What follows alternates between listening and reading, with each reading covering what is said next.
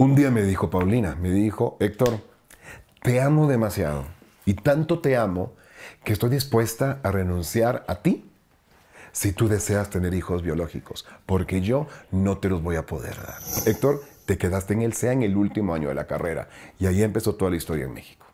A puro engaño. A pesar de que reconozco que es una mujer extremadamente bella y agradable y simpática y la quiero mucho, nunca, te lo juro, la vi con más que ojos de amigo y viceversa.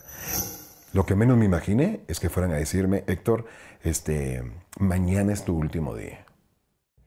Oye, Héctor, mira, no sé, digo, yo, yo sí quiero saber tu punto de vista porque eh, pocos son los hombres que a nuestra edad no tienen hijos biológicos. Sí. Yo no tengo hijos biológicos, yo no pude ser mamá. Ok. Y, y son dolores muy raros, son dolores muy, no sé, obviamente no se percibe igual como hombre que como mujer, porque se supone que uno es la que le da la vida, ¿no? Aunque pues son los dos. ¿Cuál es tu, tu sentir, Héctor? Ok.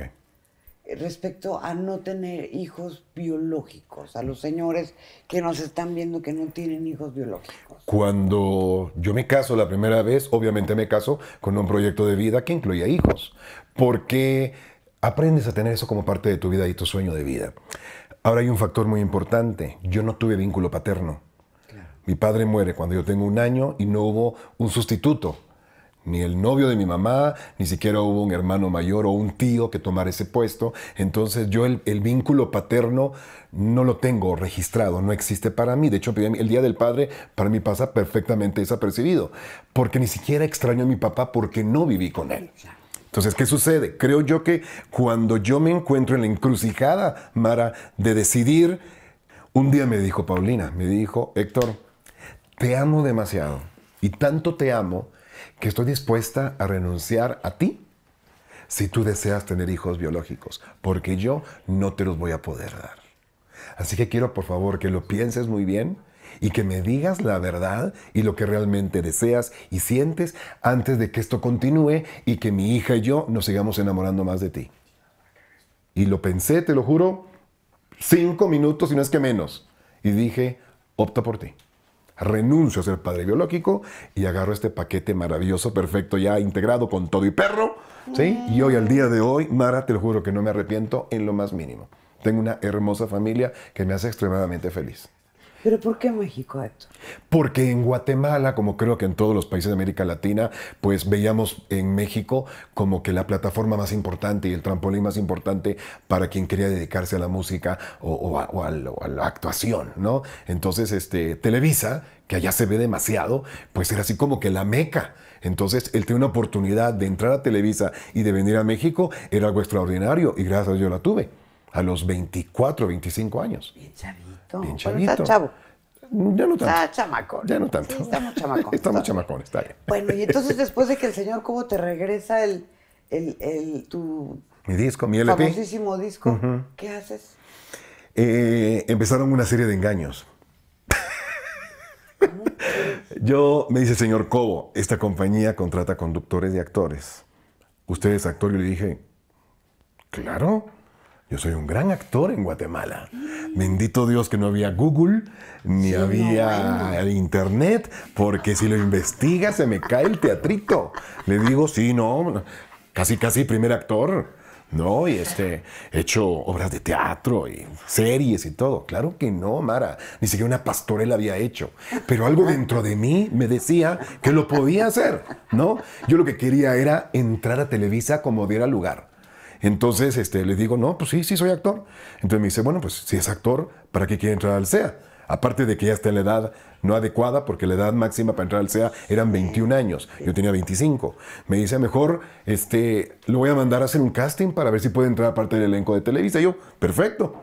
Y me manda, en aquel, aquel entonces, no sé si recuerdas, esta mujer que se llama Marta Oliver, Sí, que era no. como la, la Alejandro Benítez de aquel entonces, la encargada de, de elenco artístico, y me manda a hacer un casting con Alejandra, con, con Marta Oliver. Yo creo que más, más que talento, más que belleza, que no, no, no es lo mío, Astucia. Dijo, este cuate tiene ganas, tiene deseo, y si no le doy el sí, va a seguir insistiendo hasta que consigo el, el bendito casting, me hacen la prueba ahí en el Star System de Televisa, y al poco tiempo, este, me imagino que Eugenio Cobo y su gente ven el casting y le dicen, ¿sabes qué? Que entre al SEA.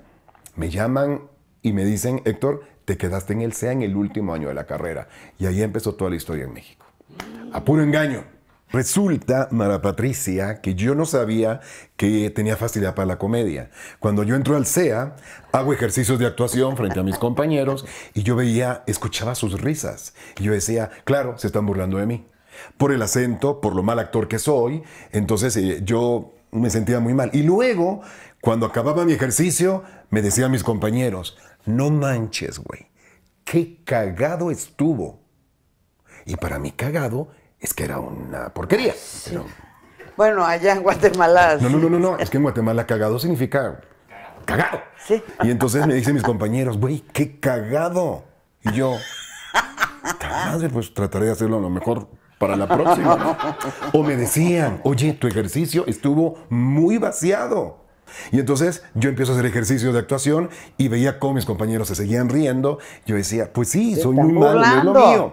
Hasta que un gran maestro que tuve, Rafael López Mirnao, que en paz descanse, gran director de teatro, este, un día ve el conflicto y me manda a llamar y me dice, mira Héctor, si te dicen que eres cagado y vaciado, es porque eres muy chistoso. O sea, tú, tú- tú tienes una cosa que se llama viscómica, una facilidad natural para entender la comedia y desarrollarla y provocar risa en la gente. Y ser cagado me trajo muchos beneficios porque me abrió todas las puertas de Televisa. Yo lo primero que hice graduándome del CEA fue comedia. Comedia infantil, este, programas de comedia con Luis de Llano, o sea, porque galanes habían un montón, ¿no? Y yo no podía competir con ellos. Entonces, me da más trabajo el tener la vis cómica que el haber sido un competidor de galán junto a Mauricio Islas y Fernando Colunga y todos los verdaderos galanes de mi generación. Y este, y, pero también fueron novios, ¿no? No, nunca. Y eso te lo juro, ¿eh? Y Galilea te va a hacer exactamente lo mismo.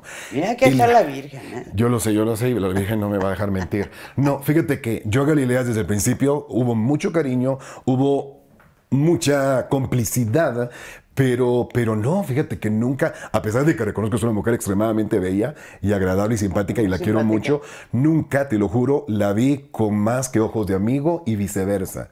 Este, en primer lugar, cuando la conozco a ella, pues andaba pues con un novio muy formal, muy lindo, aparte un cuate que me caía muy bien, y no era Cuauhtémoc, era uno anterior, también futbolista. Este, y yo tenía también ahí una noviecilla, entonces como que de entrada nos dimos cuenta que cada quien estaba en lo suyo. Pero la amistad que se dio fue tan sincera, espontánea, tan bonita, que, que ya no cabía otra opción.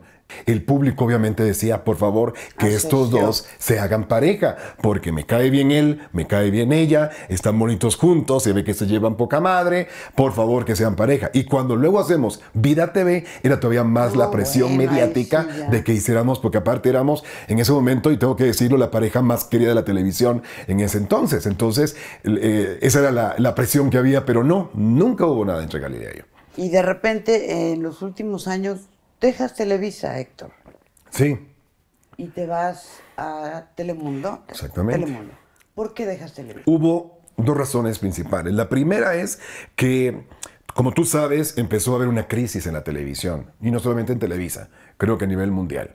Creo que la televisión, y hoy por eso estamos aquí, este, no se adaptó con tanta facilidad al tema del streaming y al tema de las redes sociales y de las plataformas digitales. Entonces hubo una baja en trabajo. Número uno, luego no habían tantos proyectos. Entonces yo tenido, he tenido siempre la suerte de que a mí los proyectos me llegan y como me llegan varios, tenía la opción de escoger el que más me gustaba.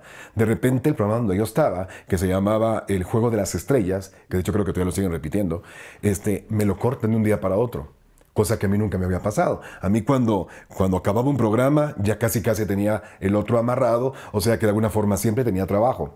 Agarro yo mi carta de, de separación de Televisa y al día siguiente agarro un avión y me voy a Miami. Directamente a Telemundo, la compañía que siempre me había estado buscando.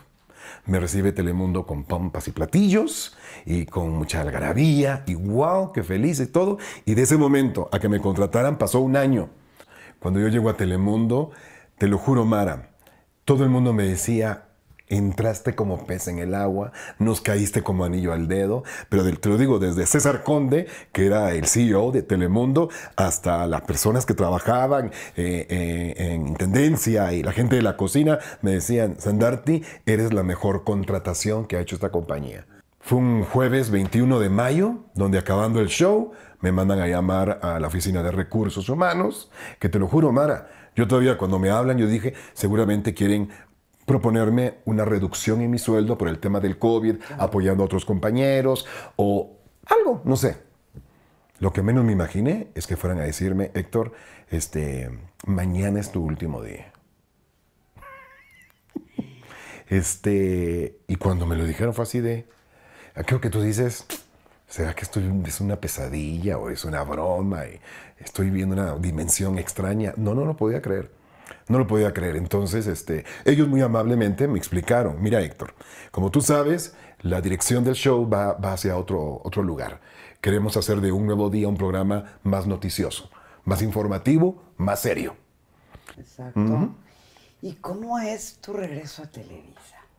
El día que a mí me avisan que me voy de Telemundo, que fue un shock para, nosotros muy fuerte, este, yo le dije a Paulina, a ver, ma, me dieron la opción mañana de ir a despedirme del, del programa y la acepté, porque quiero despedirme. Y le digo a mi agente, David, se acabó un nuevo día, consígueme trabajo.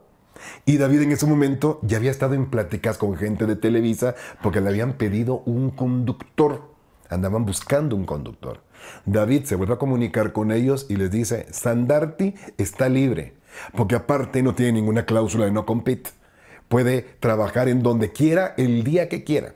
Pero prácticamente para el sábado yo ya estaba confirmado en un show de domingo en Televisa y mi regreso por la puerta grande.